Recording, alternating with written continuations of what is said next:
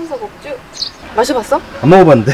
여기가 한산 소곡주 갤러리입니다. 어, 소곡주 무협 영화에 나올 것 같은 아. 이름인데 한번 맛봐야겠어요.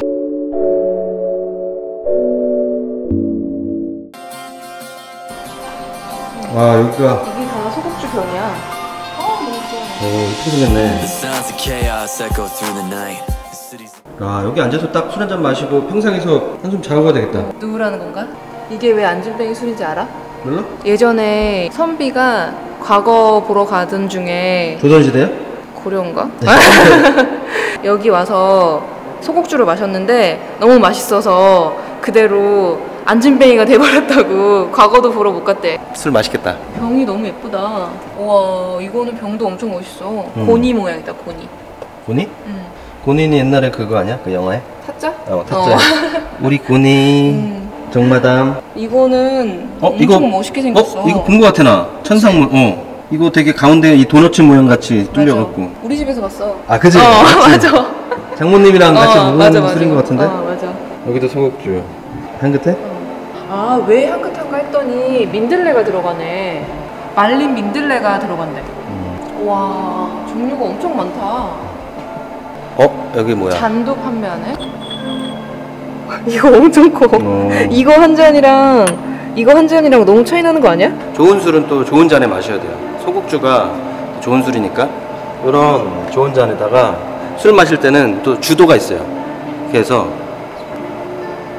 이 각 각지는 거 보여? 호청천인가?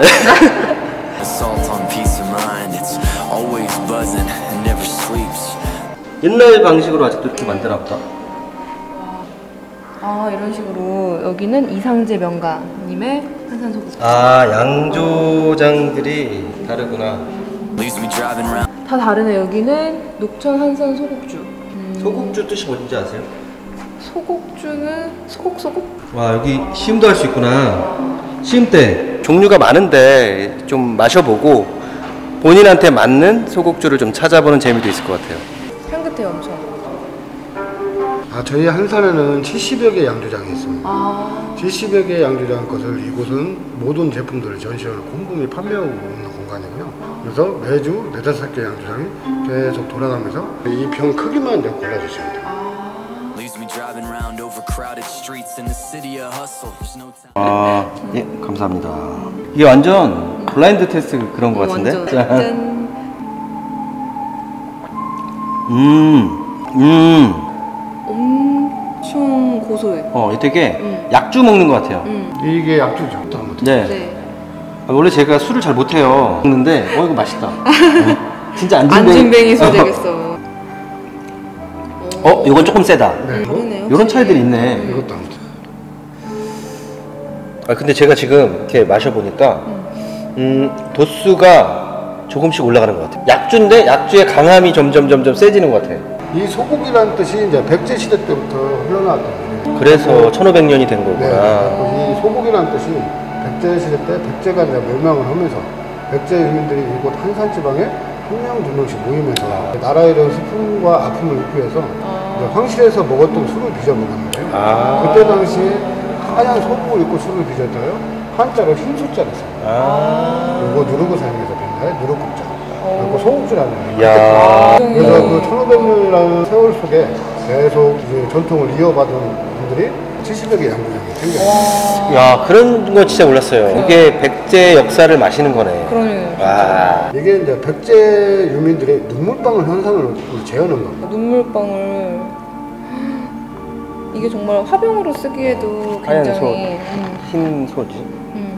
음. 국물, 누룩국자, 어, 누룩. 누룩국자 해서 또 백제 역사, 백제 역사와 눈물을 담고 있는 술, 이 소곡주에 대해서 알게 돼서 뜻깊은 것 같아요. 전 진짜 몰랐는데, 아, 되게 뭐 가슴이 뭔가 뭉클한 느낌이 좀 듭니다. 단순히 안진뱅이 술인 줄 알았는데 역사가 담겨 있는 술이라니 온 김에 소곡주도 좀 사가려고 합니다. 집에 가져가서 저희도 좀 마셔보고 선물도 좀 해드리려고 하고요. 소곡주도 샀습니다.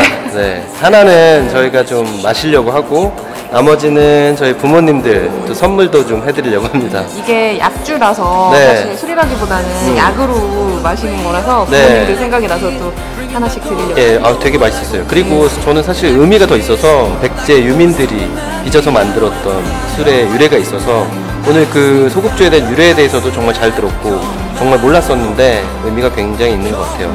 소국주 병이 백제 눈물이라고 해요. 그래서 병 모양이 이렇게 생겼어요. 이 병으로 화병, 꽃, 꽃도 꼽아 놓을 수 있는 화병으로도 사용하기도 하시더라고요. 70개의 양조장이 매주 다섯 곳마다 돌아가면서 이제 시음을 한다고 해요. 판매도 하고. 음, 맞아요. 그래서 다음번에 올 때는 또 오늘 먹지 못했던 다른 양조장의 그 소국주도 먹어볼 수 있지 않을까 하는 네. 기대가 또 됩니다. 맞아요. 한산 소곡주 많이 사랑해 주시고 저희 영상 오늘 여기까지 하겠습니다. 소곡주